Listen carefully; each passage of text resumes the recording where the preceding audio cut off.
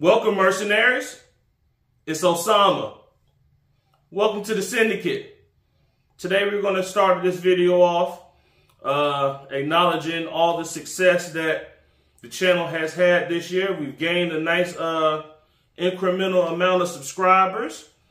Uh, views have went up also on a few lucky shorts that I posted. So we're going to thank all the mercenaries for spreading the intel on hooking up other mercenaries with great training, great advice, and great uh, tools for the trade.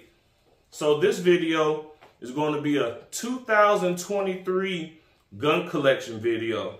So every gun that you're going to see here today is a gun that I've acquired since I've done the 2021 gun collection, which y'all should check out. About 35 guns in that video. So something that was able to hold people off, um, you know, thinking about all the tools that we had then compared to now. So um, this is just an add-on of toys that have been added to the arsenal since then. So we're gonna uh, cut to the chase, get right to it.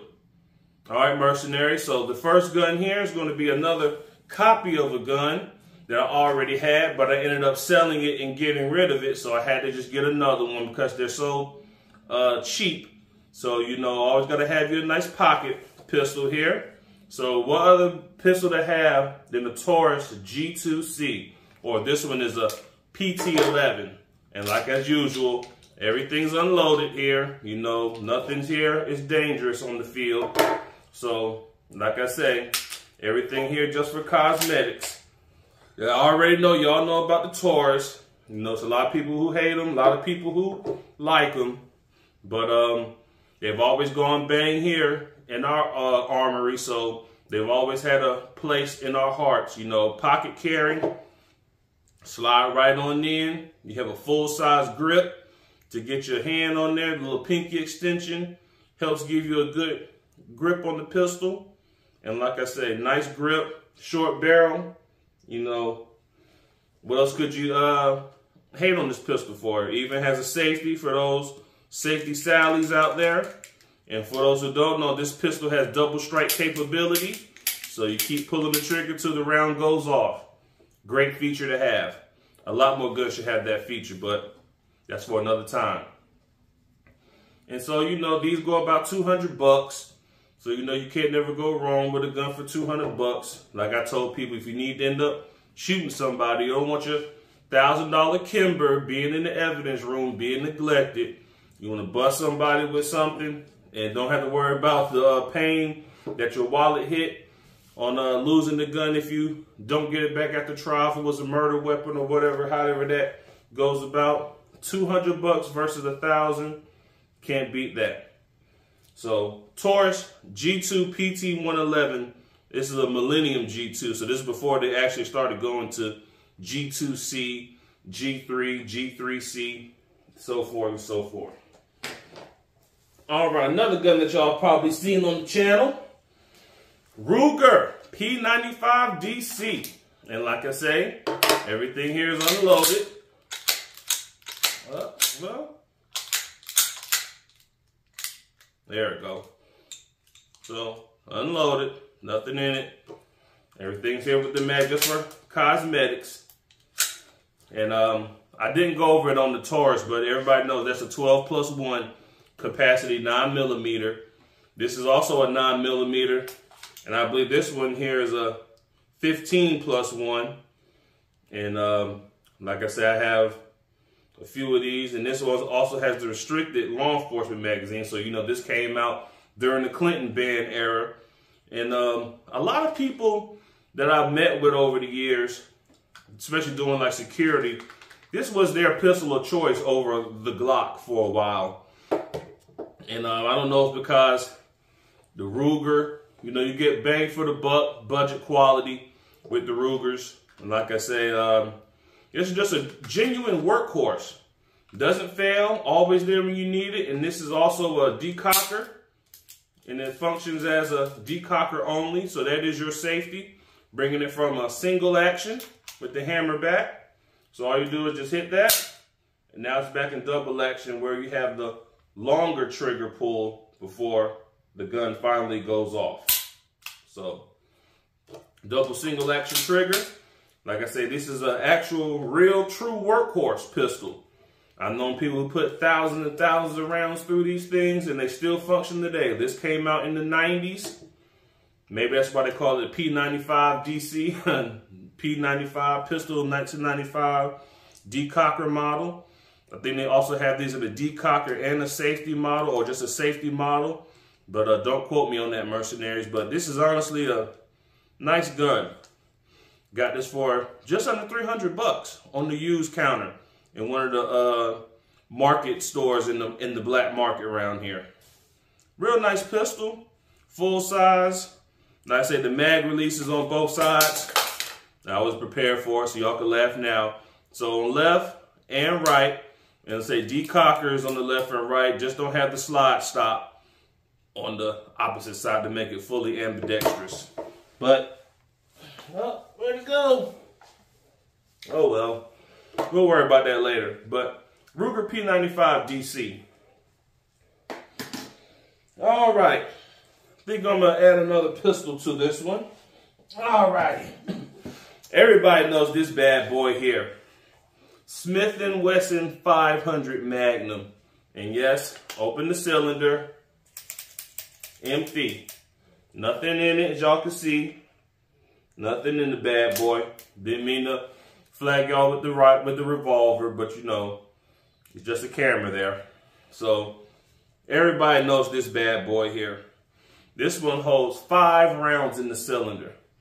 500 Magnum, the world's largest pistol or largest pistol caliber, whatever they want to call it.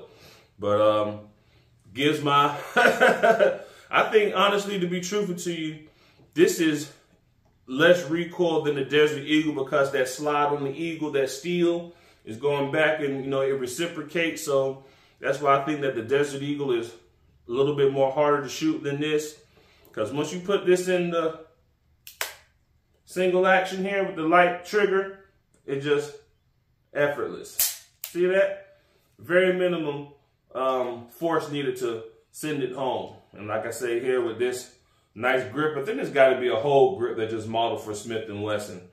But man, when you get a good purchase on this bad boy here, and you just hold it, hold it, boom. And like I said, this model here has the compensator, not only on the sides, but it has the ports at the top. I don't know if y'all can see that. I'm gonna see if I can try to put it there. Hopefully the camera can pick that up. But man, listen.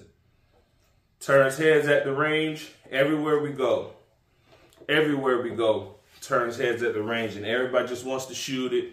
Some people are scared of it, but you know, it's only meant for men to handle. Now, I've seen some women shoot this too. My coworker said that at this range he went to, a lady shot his one-handed. And I was like, well, damn, you know, that's a badass woman there. Shout out to her, whoever she is. But um, I've never tried to shoot it one-handed. Like I say, it probably won't kick that bad since it has a lot of ports on here to try to keep the muzzle flipped down. You know, you having ports at the top, keeps the pressure pointing down. Then with at the sides, it keeps it from swaying. So it's more like a center, but it does have some type of recoil, you know, with it being a very powerful and very powerful revolver. Okay. Now we're going to go on over here. Y'all seen this one recently, Mossberg. Mossberg 590A1, military issue shotgun. I got this as a police trade-in for 200 bucks. Like I said, this is rifling. Here's a smooth bore. Don't know if it's been shot out. The rifling has been shot up, which I highly doubt. I think shotguns come in a smooth bore. But um, don't quote me on that. Safety up here, like what they call it, like a tang safety. So, you know, black hold back, red, they're dead. And I think this one is a one, maybe a three plus one in um, two and three quarter, or maybe four plus one and maybe three plus one in three inch uh, shells. Um, I said came with this uh, sling with the shell holder. I want to say last time I counted it holds 15 or a dozen. uh, shells in here. So, you know, fast reloading is possible. You know, you go through, boom, boom, boom, boom, boom. And I'm just going to do this for like an example. We'll just go pow and say that you're empty. All right. Turn over. Boom. Boom. Boom. Boom. Boom. Back in the game. So, real nice shotgun.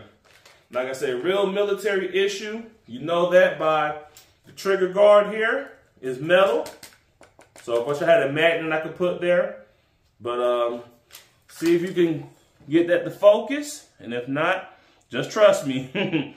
it's, it's a 590A1. And like I say, if you have a Mossberg 88 or 500, this trigger guard will be plastic.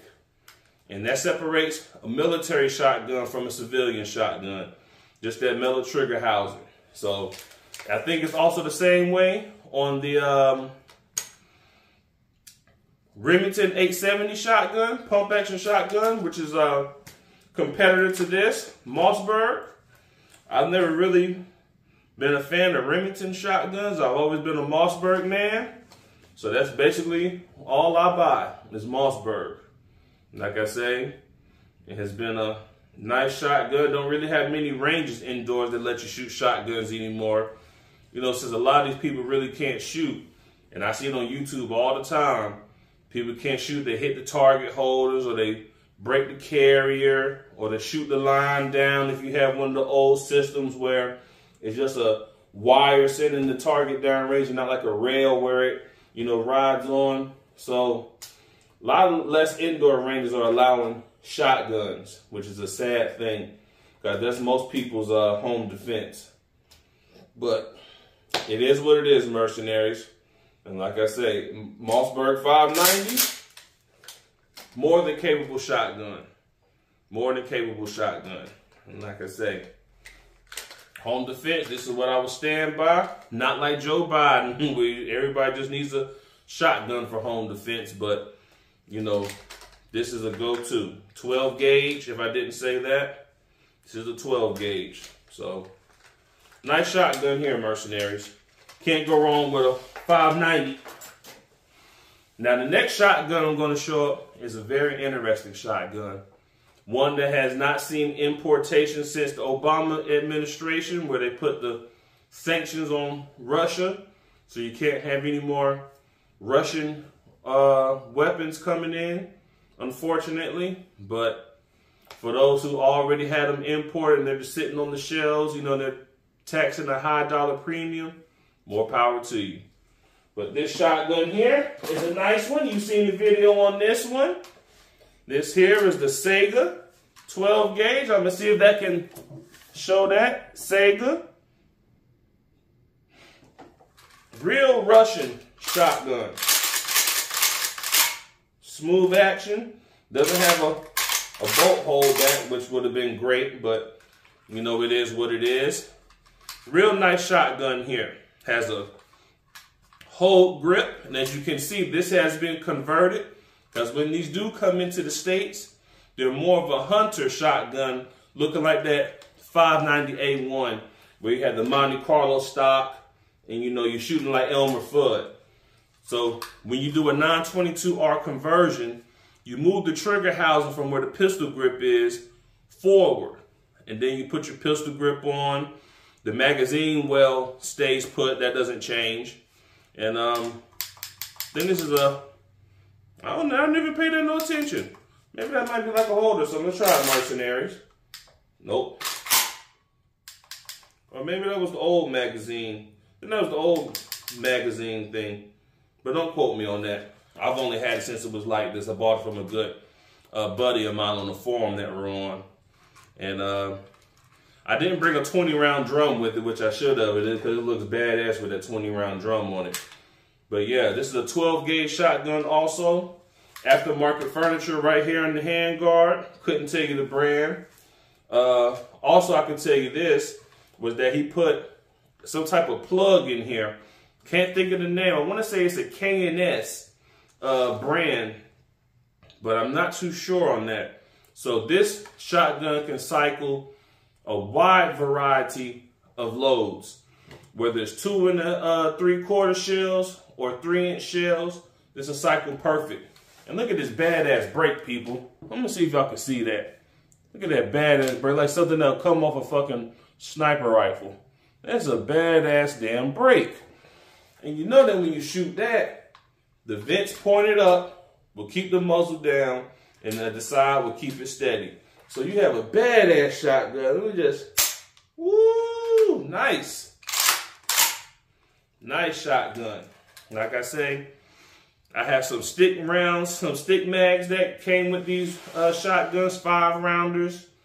Got some 10 rounders, and I got 20 round drums that all came with this shotgun from the original owner who bought this in the original configuration and did the 922R compliance uh, swap to make this a more a modern sporting shotgun. And like I say, these were imported by RWC, which is the Russian Weapons Corporation group out of Tullytown, Pennsylvania, USA, which is marked right here. And like I say, this is made in Russia by Izhmash, which is one of the original factories that started making AK uh, pattern rifles and shotguns. You have basically Izhmash and Molot, if I'm saying that right. Haven't been working on my Russian side. I've been drinking those Stoli this morning. But uh, Molot and Izhmash are your two famous factories out of Russia. So anytime you buy anything out of Mother Russia, if it's not out of Izhmash or Molot, stay away from it. Stay away from it. So Molot is known for making the Vepr rifles. If you ever seen Vepr rifles, and I mean V as in Victor, E as in Echo, P as in Papa, R as in Romeo, Vepr. So they make Vepr 12 gauge shotgun, which is a competitor to this. I want to say that Izhmash was first, and then Molot came second. I really want to say that. And uh, like I say, you have your Russian markings on this side, the Izhmash factory stamp. Uh, like I say, this is a real, real nice piece of weaponry right here. And like I say, metal trigger guard. like I say, it's a badass shotgun here. And I'm guessing like I say, I haven't shot this. It's just been a safe queen. I bet with this damn brake on here, this damn thing doesn't really do anything but just stay put. And if it does, it might just do a recoil, just pushing back into you. Just like shooting like a suppressed rifle.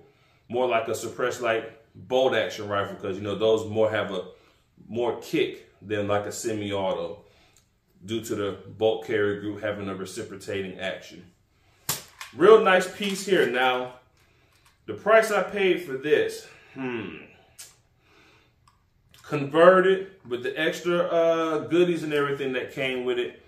I think I gave him like 1900 for the shotgun. He he wanted two, but since we ended up meeting at a uh, buddy of ours, uh, gun shoot at his house, he has a nice piece of property with a range in his backyard. He knocked off a few dollars. Then I bought a suppressor from him also that he had on the form for. So it was a nice in-state transfer. So he, he hooked me up with a nice little deal because you rarely see these for sale. And if they do, they usually go pretty fast. So Saiga 12, actual Russian shotgun. Can't go wrong. Can't go wrong. Oh. All right, mercenaries. We're down to the last two I'm going to show. And these are the most two expensive that I added to the collection. So you've already seen videos of both of these in action if you've been looking at the videos on the channel. So these are nothing new. I've had these for a while. I just haven't came and put them in a gun collection video. So now is your chance. And I'll look at this big heavy one over here on the right. So I think I'm going to do that one first and then finish off with a lighter gun. So, y'all seen it? Ah here it is. Accuracy International AXSA, which is a Accuracy International short action rifle. Now y'all say, damn, he got all this shit on here. This is a very heavy rifle. Very heavy rifle with the can, night vision, the bipod, the heavy Vortex scope, this uh, very light um, IR illuminator here, which I'll go over. And um, the gun is, the rifle is safe because the bolt is locked in here, but we'll just go ahead and open that up. And like I said, I just rest it right here because I don't have much real estate on this small TV tray. But just to show, it's already in safe. So I just put it in the neutral position. So as you can see, nothing in here. And the magazine is empty. So this is my precision rifle. Very much uh, happy with this build. Took me a long time to acquire it. And I'm only missing one piece that I'm going to probably get sometime next year, which is be to get rid of this IR illuminator and put a full power pick maybe somewhere over here on this side of the rifle where my fire hand could just do all the alternating of the, uh, well not alternating, but adjusting of the settings. So I'm just gonna go over this rifle real quick. Um, these rifles here are military uh, issue type rifles. I mean, the founders of this company, Accuracy International, are some top-notch guys, real top-notch. Um, if you ever read their story, how they started in a garage and then they gypped or tricked the British government thinking there was a big company when they weren't, just to get the contract so they can get the things that they needed, you know, which was a hell of a grand scheme. I don't think that'll fly here in the States. I think they'll call that fraud, but you know, that's neither here nor there. So this rifle here, man, is is the bee's knees, as my buddy says. This thing, man, is lights out accurate. Like I said, these are one of the most accurate rifles in the world. Um, 10 round magazine, I have it over here, but it has ammo in it that I haven't put back in the box. So I'm going to just leave that out.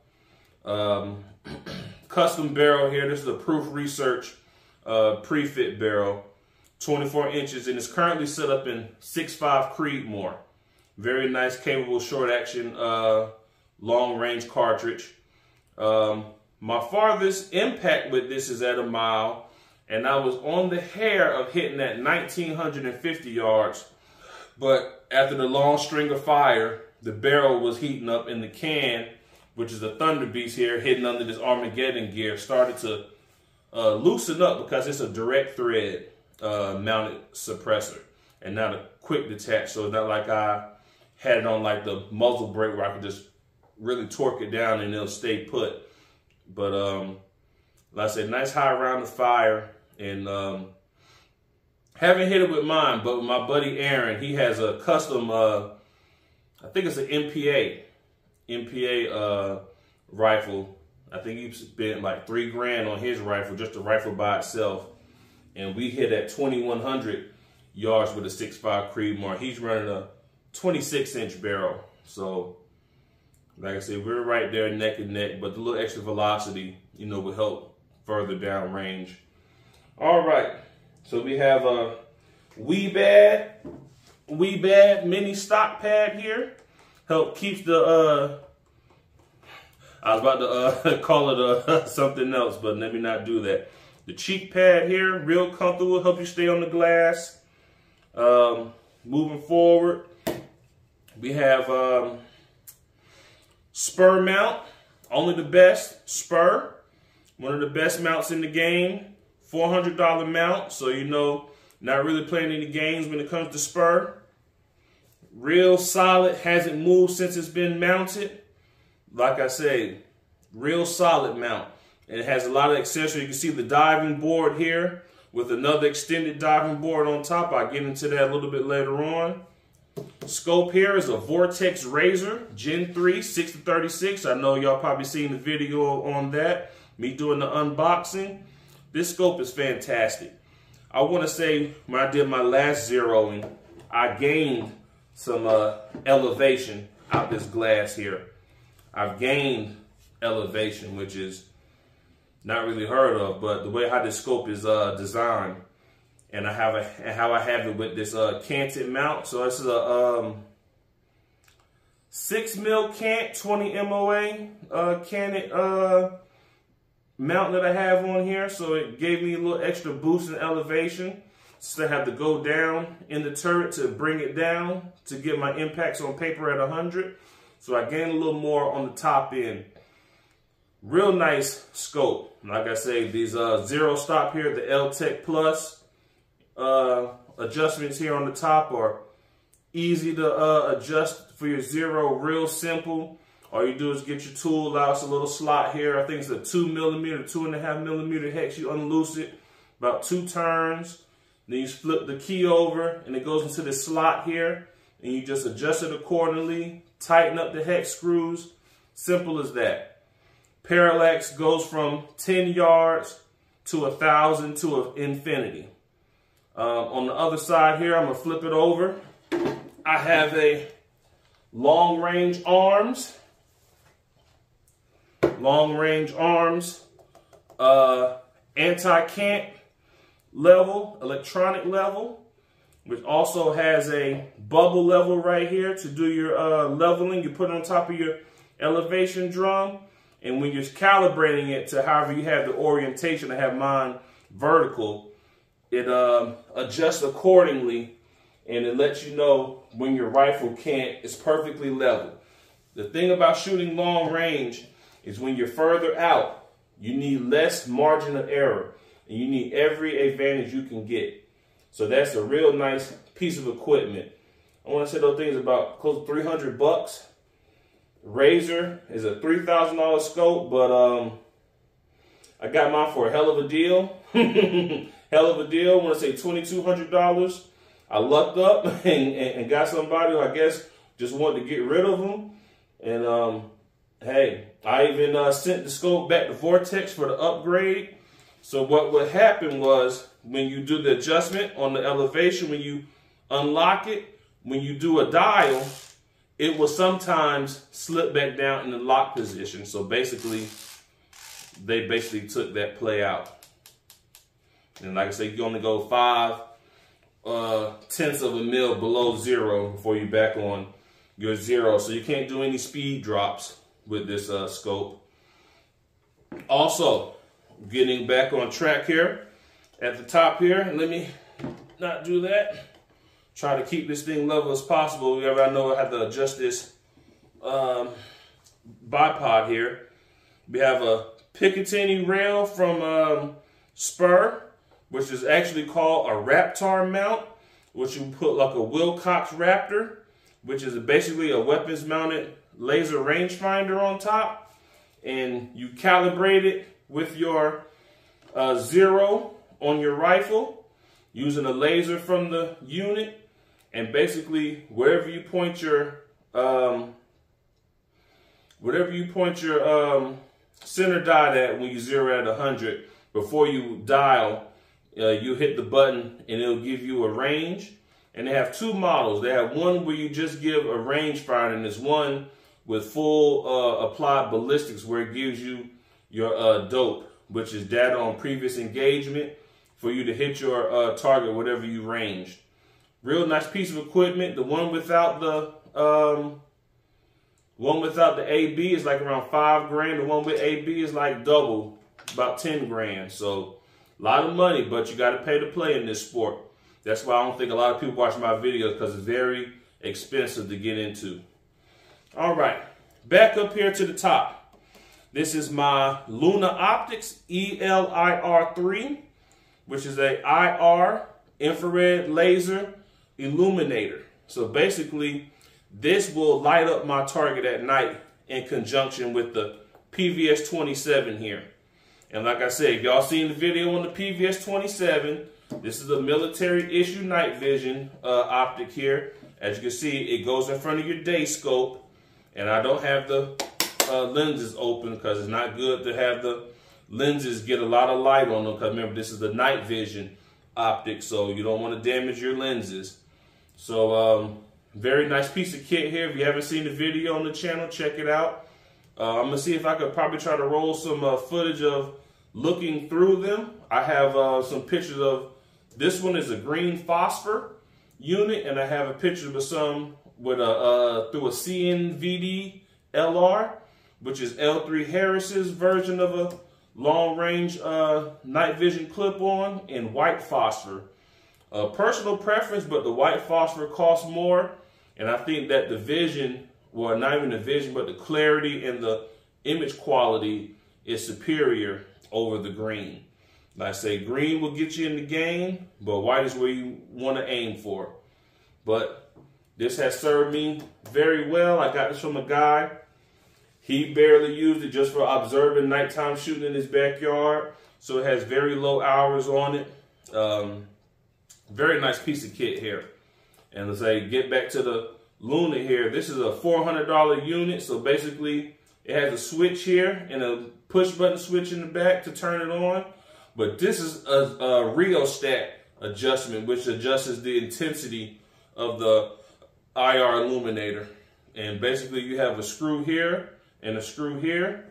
Um, I haven't done the upgrade yet, so it's an upgrade you could do to where you could just turn a screw here and turn a screw here to adjust on the fly.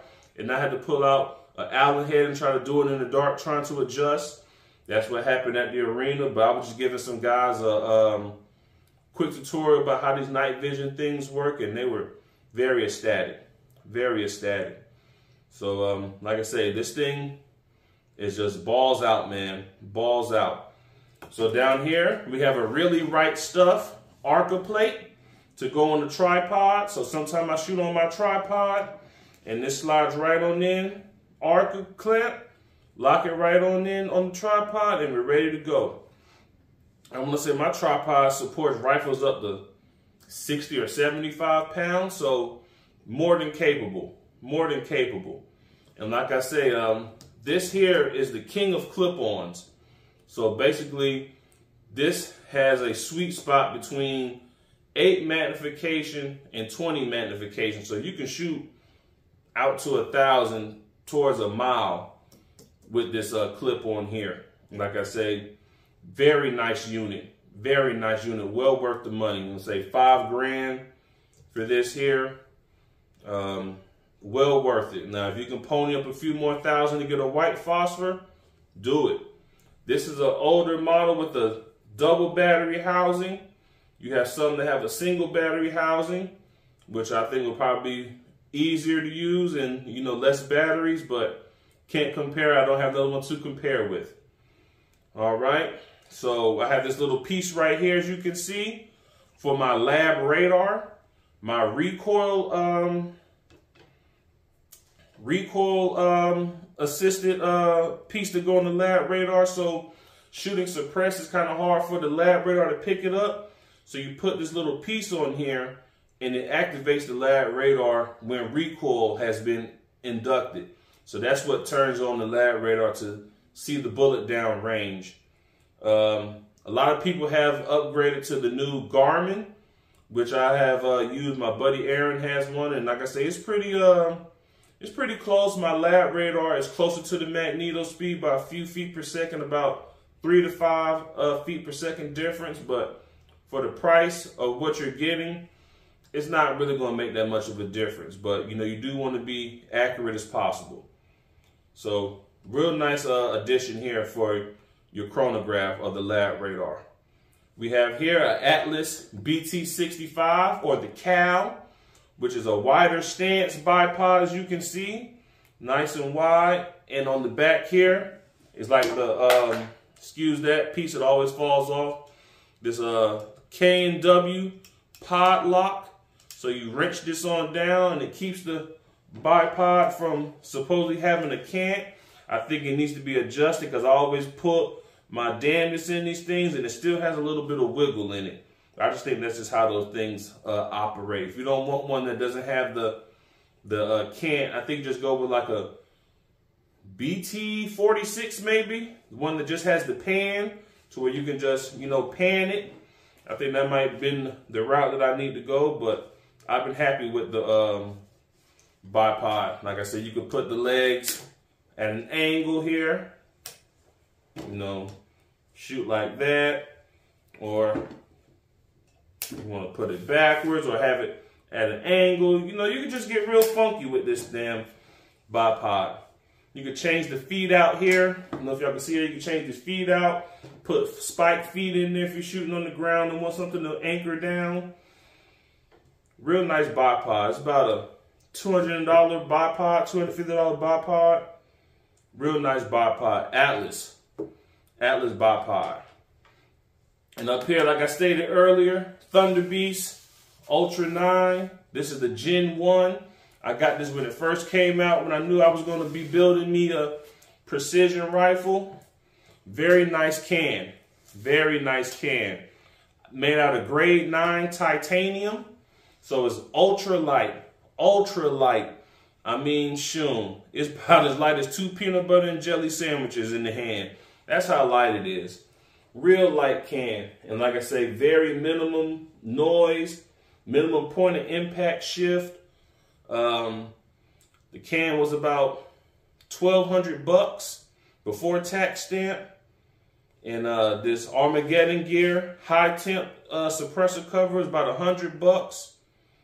So you say including the tax stamp in that, $1,500 just hanging off right here at the end of this suppressor here.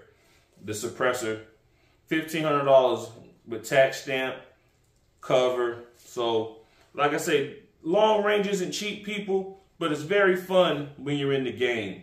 Like I say, there's really nothing out here that I really can't hit. And like I say, this is set up in 6.5. So what you could do is adjust this little uh, nut. You screw it out about two and a half times.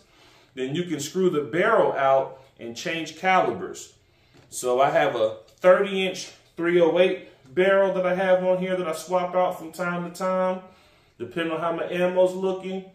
And I just rotate calibers, redo a zero on here. And like I said, this is just a balls out hell of a damn setup. Hell of a setup. And I don't think I got into the price of just a rifle. And look, I didn't want that to happen, and there it goes, the damn phone ringing. Shit, can't even believe it, but it is what it is, mercenaries. Probably just a damn bill collector calling. So we're going to ignore that, we're going to move on to the last rifle, which is going to be something real sweet that y'all have already seen. And we'll go from there.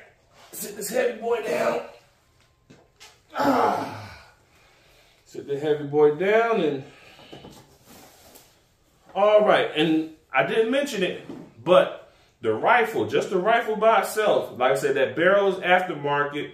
That was about 600 bucks. Uh, but if you just get one from the factory, just the rifle by itself is about $8,000 before taxes. Real expensive rifle, but well worth the money. This thing will last you forever. And if you're familiar with the Accuracy International Arctic Warfare, it's the same uh, bolt and uh, receiver in that rifle. So it doesn't freeze when you're in the blistering cold of the Antarctic. And it doesn't melt or get stupid hot when you're in places like the Sahara Desert, the Middle East, where it's blistering hot and 110 plus degree weather.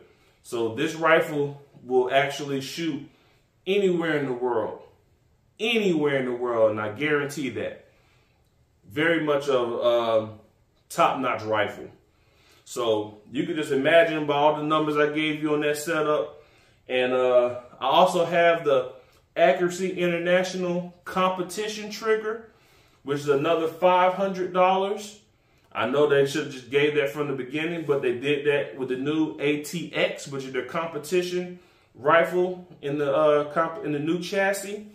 And they honestly did a good job with that rifle, including that trigger in there.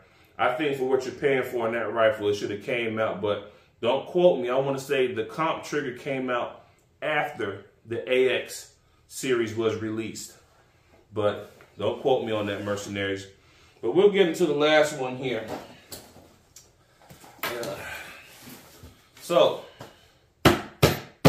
this is the fun gun here, as the guys at the uh, range tell me when I come and shoot, and they always ask to like to shoot it. And forgive me for this dirty case. All right. Don't know what that is, but y'all have seen this. little fun gun. And if not, here you go. We have here a Select Fire real Mac with the switch. And I'm gonna see if the light will show. And I will just go ahead and flip it. Maybe we can show it. That's semi-automatic right there. And once you do a 180, full automatic. So it's a real select fire transferable machine gun. Now I've taken off the folding collapsible stock that they come with it from the factory. And it came with this aftermarket stock. I swapped out and added this Lage or Lega um, palm grip or hand grip with a thumb release here and it still retains the heel release. So real quick to swap out mags. Uh, foregrip and this is currently set up in 45. I have other 45 uppers. I have a 9 millimeter upper. So all I do is just swap this out, put the 9 mil uh, magazine uh, holder thing inside the grip here from the top. Put the 9 millimeter on there. Put your 9 millimeter mag in. You're shooting 9 millimeter. This is an open bolt machine gun, as you can see. Open bolt. So most of your machine guns are open bolt, unless it's like a AR-15, which all those function as a closed bolt machine gun. Also here, we have a Bowers Verse 45 suppressor. Nice sub gun suppressor. Uh, has some weight on it. The uh, Thunderbeast is probably a little lighter than this, even though this is a pistol suppressor. And like I said, I had these coarse threads. And from Bowers, I would just put in, and I should have just done it, but it's a, I'll do it since I'm already here. And this is the last one. So this little insert there, you would swap that out. It'll change to a 9 mil uh, coarse thread pitch. Screw that bad boy on, and we're in the game. This is like a Nomex silicone uh, cover. So if you want to do some mag dumps, you can just hold it here, and the gun won't, well, I ain't gonna say the gun, but the can won't burn you as fast because after a while, with this hand uh, foregrip being on the barrel, that heat will reciprocate and transfer to this hand grip. You know, metal is a heat conductor, or all metal are conductors anyway, if you think about it. Will transfer that heat on here, and after a few dumps, this will start to get hot. So, and if you didn't have this grip here, you would just hold it here and bah, you know what I mean, and all gone. So this one takes grease gun magazines, 30 round grease gun magazine. Locks right on into place. As you can hear that, it's in the game. I hit this little release, falls right on out. So this takes grease gun mags. And I had a guy from another forum, the Mac forum, and y'all seen this too, make a 50 rounder. 50 round stick. Real nice setup here. And like I say, mag dump but this is about two and a half seconds going through this 50 round magazine. Like I say, this round count, uh, not even the round count, but the rounds per minute on this thing is about 1,200 rounds per minute. Then you add the suppressor, which is a, a, a back pressure uh, increaser, as this is a blowback design. So with the blowback from the suppressor, it will actually increase the cyclet rate to about 1,300 rounds per minute. So very fast shooting submachine gun here. And if you have the money to get you one of these fun toys, I would suggest that you get it. Really would suggest that you get it. Like I say, it draws all the attention at the range when you're shooting it quiet, and it really draws them around when you're shooting it loud. All right, mercenaries. Well, let me get to a price on this. So basically, if you don't know about machine guns, this is a transferable. So this is legal for civilian use.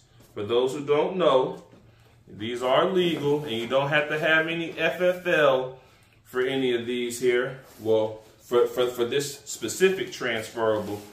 Is a civilian owned and it will run you depending on when you bought it. I bought mine a few years ago, so the price was a little bit cheaper than what it is now. Um, it will run you, we'll just say in about $11,000 ballpark. And that could be without the suppressor. This is just the, the, the, the machine pistol itself will just run you that. And by the time you add a suppressor on there, you know, another can and a stamp, depending on which one you go with. Um, I've seen them go from about as low as around now about $10,000. And you have some like the M11, which is the SWD made one, which is after Military Armament Corporation went out of business. Uh, if you know that story about uh, Mr. Ingram and his uh, cooperation of uh, business, I forgot what the guy's name was. I think his name was Orville, but I can't think of his last name. They actually went to business together and started uh, making the Mac machine gun, which was Mr. Ingram's design. And then I think it's Mitch WerBell. He made the Sionics two-stage suppressor, which you will see when they originally came out in the 70s. So that's how their friendship started. And like I say, older people that have been in the gun world, like I mean older people, they used to always say they used to be able to buy those Macs out of a catalog. And back then they were only about 300 some odd bucks. And I was like, man, where's the damn uh, time machine now? I tell Buff, well, you getting those sports bets, right? You need to be picking up on some of these damn machine guns. Because as you know, in 1986, they stopped uh, allowing you to create machine guns. So that's why they're so limited of them. And that's why the value is so high. So every year, the value of the machine guns go up. And that drives the prices going up. So if you have an SWD9, those are running about 13, 14,000. And those are so, so sweet to shoot because they only shoot nine millimeter. Now that one is a 45 and I can swap it between nine and 45. But if you ever seen some of those people put, I forgot what type of buffer it is, but uh, put those extreme lightweight buffers. Uh, if it's not the buffer, I think it's the bolt in those M11s, they increased the speed up to about 16 to 1700 rounds a minute with a suppressor, which is dangerously fast. I've seen a guy dump a 50 round mag in almost one second. It just went and it was over with. And we were all just looking like, damn, you know, we just basically just ate it, shit it out all at the same time. But transferables are real nice if you can afford them. And like I say, if you can get one, get one. Now the other uh, machine guns that you see people shoot, like the Glocks with a switch, those are what they consider post-sample machine guns, which are only for people with a 0702 uh, SOT, special occupation, special occupation tax, uh, FFL, and then you also have pre-samples, which are also held by 0702 SOT FFLs.